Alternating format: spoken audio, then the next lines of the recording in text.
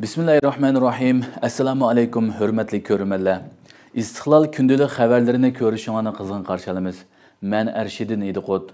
Tövəndə vətənimiz Şərqi Türkistan və dünya gün tərtibinə əlaqədar mühim xəbərlərini huzurunuza sunumuz. Qani diqqətinizlər ekranımızda olsun. Avstraliyadakı Uyğur yaşları Xitaylarının yarısına tuz sepdi. Avstraliya Sharqiy Turkiston jamiyatining yoshlar guruhi 10 oktyabr Avstraliya komandasiga o'ttirib qo'ygan Xitoy futbol komandasini naq maydonda tiximi o'sal ahvolga tushirdi.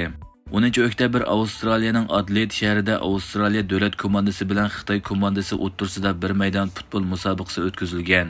Bu musobaqa 2026 yillik dunyo futbol lo'nqisini talashish musobaqasiga kirish salohiyatini bekitadigan 3-aylanma guruhi musobaqasi bo'lib, Avstraliya futbol komandasi birga qarshi 3 natija bilan Xitoy komandasini yenggan. Musobaqa jarayonida Adelaide shahrida faoliyat qilayotgan Avstraliya Sharqiy Turkiston jamiyatining yoshlar guruhi to'p maydoniga kirib, Xitoy to'pchilari va qo'llovchilarining yarasiga tuz sepgan. Fidai yoshlari to'p maydonida Xitoy komandasini qo'llagan tomoshabinlar bilan to'pchilarning eng oldida oy yulduzli ko'k bayroqni egiz ko'tarib, ishg'oliyatchi Xitoyga bo'lgan qarshiligi va g'azab nafratini namoyon qilgan. Buningga qattiq bearam bo'lgan Xitoy komanda a'zolari va boshqaruvchilari maydon boshqaruvchi xodimlarga Uyg'ur yoshlari ustidan shikoyat qilgan hamda boshqaruvchilarga oy yulduzli ko'k bayroqni maydondan ilib o'tishni talab qilgan. Maydon boshqaruvchilari Xitoylarning talabi bo'yicha Uyg'ur yoshlaridan bayroqni yig'ib o'tishni o'tingan. Ammo Uyg'ur yoshlari maydon boshqaruvchilariga Avstraliya demokratik tuzumidagi erkin davlat bizga bayroqni ilib deyolmaysiz deb raddiya bergan. Maydon boshqaruvchilari amalsiz qolgan. Shikoyati karga kelmagan Xitoy komandasining boshqaruvchilari Uyg'ur yoshlarining yeniga kelib, bayroqni sur'atga tortmoqchi bo'lgan. Buningga qarshilik ko'rsatgan yoshlar jur'ating bo'lsa bayroqni biz bilan qo'shib suratga tortqin deb norozilik bildirgan. Uyg'ur yoshlari yana fursatni qo'ldan bermay, to'p maydonidagi media organlari va muxbirlarining oldida Sharqiy Turkiston bayrog'ini egiz ko'tarib lapildatgan. Bu haqda ziyoratimizni qabul qilgan Avstraliya Sharqiy Turkiston jamiyatining tashqi ishlar mas'uli va yoshlar tantarbiya ishlari mas'uli Saloyiddin apandi munolarni bildirdi. Muhojiratdagi barliq Sharqiy Turkiston xalqini o'zlari turayotgan davlat va shaharlarda Xitoy qatnashgan futbol musobaqalari bo'lib qolgan taqdirda naq maydonga berib, Sharqiy Turkiston bayrog'ini egiz ko'tarib, Xitoyga qarshi maydonini bildirishi muhim. Chunki to'p maydonidan nurg'unlagan xalqaro media va axborot o'rinlari keladi. Sharqiy Turkiston bayrog'ini ko'rgan Xitoy chiday olmaydi. Xitoy Sharqiy Turkiston bayrog'ining odam shuncha ko'p maydonga tiklanishini xohlamaydi, dedi. U yana Xitoyning bo'qtimqidak Uyg'urlarning qarshilik harakatlariga chidamay, yerlik hukumat va aloqador organlarga shikoyat qilishi mumkinligini, buningga o'xshashlar Sharqiy Turkiston masalasini kun tartibga keltirish, shu davlatdagi tashkilot va shaxslarga tunishtirish rolini o'ynaydiganligini bildirdi. U so'zining oxirida Uyg'ur yoshlarining pidokirona harakati sababli Xitoy bilan xalqaro futbol sohasiga aloqador xodimlar o'tirsida Uyg'urlar haqida dialog shakllanganligini, natijada Xitoyning mustabidligi, irqiy qirg'inchilik jinoyatini pash qilganligini, barliq Sharqiy Turkiston xalqining mushundoq fursatlarni qo'ldan bermasligini umid qilganligini bildirdi.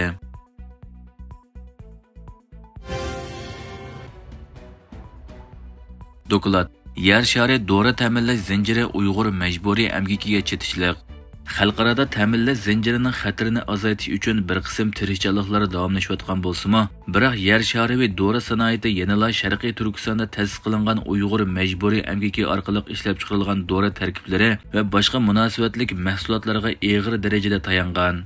İlg'or mudofaa tadqiqot markazi 8 oktyabr aks ta'sir yer shari dori ta'minlash zanjirining Uyg'ur avtonom rayonidagi inson haqlariga bo'lgan bog'lanishi nomli dokladni e'lon qilgan. Dokladda qayd qilinishicha, Xitoyning Sharqiy Turkistondagi majburiy emgak silish, assimilyatsiya qilish, keng ko'lamli tutqun qilish va boshqa yurtlarga surgun qilish qatorliq tariqada davom qilganligi Xitoyning inson haqlari dafsanchiligining kishilarning diqqatini qo'zg'abli qolmay, xalqaro jamiyatning noroziligini qo'zg'aganligi, natijada Sharqiy Turkistonga munosabatlik mahsulotlarining Amerikaga import qilinishining oldini olish uchun Uyg'ur majburiy emgakini cheklash qonuni qatorli qonun belgilamalarining tuzib chiqilganligi tilg'ilingan. Dokladda bu qonun loyihasi ma'qullangandan buyon aniq bo'lmagan sonliq ma'lumot muhiti, murakkab ta'minlash zanjiri va siyosatni yo'lga qo'yishdagi to'salg'ularning Sharqiy Turkistondagi inson haqlari dafsanchiligiga davomli yuchuq ichib berganligi, ishlab chiqaruvchilar, import qilg'uvchilar va oxirgi iste'molchilar yemaklikdan tortib, Sharqiy Turkistonga munosabatli qurilish materiallarigacha bo'lgan mahsulotlarni bilmasdan iste'mol qilganligi bildirilgan. Dokladda oshkorlanishicha, garchi xitoy dunyodagi eng cho'ng dori materiallari ishlab chiqarguvchi va ikkinchi cho'ng dori bozori bo'lsimi ammo sharqiy turkistondagi dorigarlik sohasining orqa ko'rinishi cho'nqur tahlil qilinmagan. Bu mahsulotlar uyg'ur majburiy amgaki orqali ishlab chiqarilib qolmay har qaysi hukumatlar va tuvan iqlimdagi iste'molchilarni tiximi cho'ng bozor xavfiga duchor qilgan. C4 ADS ommaviy uchurlardan foydalanib, Uyg'ur majburiy amgakining dora sanoatiga singib kirish jarayonidagi muhim omillarni aniqlab chiqqan bo'lib, Xitoydan eksport qilingan 76 turlik dora mahsuloti faqat Sharqiy Turkistondala ishlab chiqarildi ekan. Bularning orasida og'riq pasaytish dorilari borligi oshkorlangan bo'lib, bu dorining majburiy amgakka chetilish xavfi bor ekan. Undan boshqa Amerika Dora boshqarish idorasi va Yaponiya Dora va davolash uskunalari idorasining Sharqiy Turkistonga joylashgan Dora sherkatlariga ijozatnoma berganligi oshkora bo'lgan. Kuzatuvchilar garchi Xitoyning Sharqiy Turkistonda asosliq Uyg'urlar bo'lgan necha million xalqni keng ko'lamli tutqun qilib ijro qilayotgan irqiy qirg'inchilar jinoyati sababli Amerika hukumatining majburiy amgakka chetishli Xitoy shirkatlarini va Xitoy amaldorlarini jazolaganligini, biroq Xitoyning dori sanoatiga o'xshash bir qism sohalarning embargo to'ridan qichib qutulganligini, amaliyotda Sharqiy Turkistondagi barliq ishlab chiqarish sohasida majburiy amgakning izchil davom qilib kelganligini bildirishmoqda.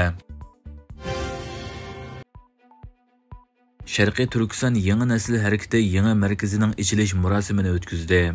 Sharqiy Turkiston yangi nasl harakati 11 oktyabr Istanbulning Safakur rayonidagi yangi markaziy ishxonasining ichilish marosimini o'tkazdi.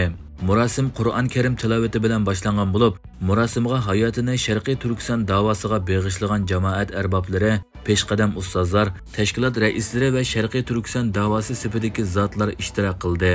Aldı bilan Şərqi Türkistan yeni nəsil hərəkətinin rəisi Abdullah Muydin oğlu içiliş sözü qıldı. Arqadan Xalqara Şərqi Türkistan Təşkilatları Bölükünün rəisi Hidayətullah Oğuzxan, Şərqi Türkistan Ölümalar Bölükünün rəisi dotsent doktor Alimcan Buğda, Cemaat ərbabi Abdüqadir Yapcan, Dünya Uyğur Qurultayı Vəqfi rəisi Abdurəşid Abdulhamid və şundaqla Gollandiya, Finlandiya qataraq dövlətlərdən gələn təşkilat məsulları yaşlarına köngül sözlərini sundu.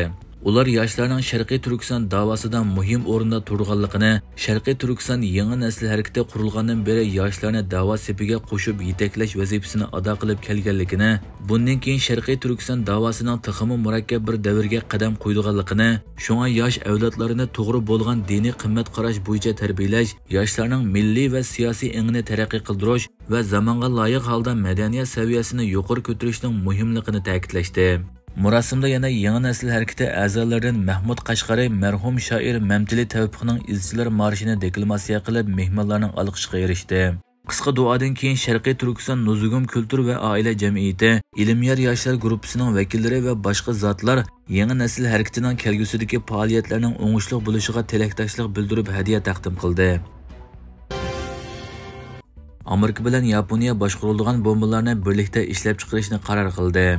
Amerika bilan Yaponiya havodan havoga quyib beriladigan o'ttir musofirlik boshqarilgan bombalarni birlikda ishlab chiqarish tirishchiliklarini tezlatilganligini jakoladi.